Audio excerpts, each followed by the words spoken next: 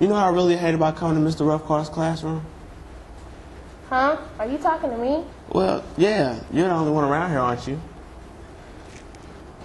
Anyway, as I was saying, the thing that's really messed up about coming to Mr. Rufkahr's classroom is all the freshmen. They stand in the hallway and they block it up. What's up with that? Well, you know they're young. You were that way once too, weren't you? Well, I don't think so, but I, I don't know. Maybe you are right. Maybe I am being too hard on them.